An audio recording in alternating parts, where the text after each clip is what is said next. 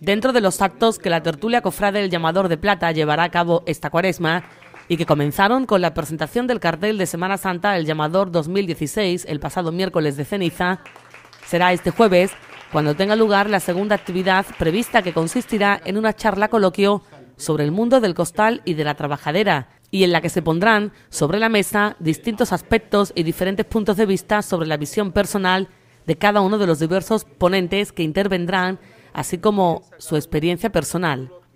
El acto tendrá lugar este jueves a partir de las 10 de la noche en la sede de la tertulia en la Taberna Cofrade del Llamador y será moderada por Joaquín Carmona Muñoz. Se contará con la presencia de un gran número de capataces en nuestra localidad.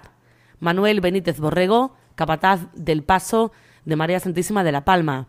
Francisco Núñez Ramírez, capataz del Paso del Señor de la Humildad y Paciencia. José Antonio Carmona Muñoz, capataz de Nuestra Señora de la Esperanza Coronada.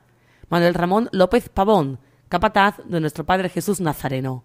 Igualmente estarán presentes costaleros de varios pasos, Francisco José Benjumea Sánchez, Samuel González Ramírez, Daniel Mayorga Vicente, José Antonio del Pino Muñoz y Francisco José Agüera Villegas. Las siguientes actividades previstas por la tertulia son otras dos charlas. El día 25 de febrero bajo el título Marchena Romana y el 10 de marzo Sobrevivencias de un pregón juvenil. Recuerden que la actividad más destacada de esta tertulia es precisamente la celebración del pregón juvenil a cargo este año de Juan Antonio López, así como la entrega del llamador de plata que en esta ocasión ha recaído en la marchenera María Ramos. Ambas actividades tendrán lugar el 6 de marzo en el Salón de Plenos del Ayuntamiento de Marchena.